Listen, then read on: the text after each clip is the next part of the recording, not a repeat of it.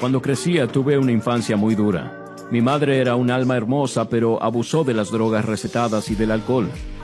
Y sí, las personas son diferentes en esa área. Soy el hermano mayor y tengo un hermano y una hermana menores. Y mi madre me golpeó contra la pared porque pensaba que mentía y me metió jabón en la boca hasta que vomité. Fue muy brutal. Pero me convirtió en un psicólogo práctico. Me hizo tener que aprender qué hace que la gente se vuelva loca, se enoje, se emocione, ame y tuve que aprender a manejarla para proteger a mi hermano y mi hermana. Y de algún modo a mí también. Si mi madre hubiera sido quien yo esperaba, no sería el hombre del que estoy orgulloso, así que todo resultó muy bien. Pero me hizo sufrir en la vida.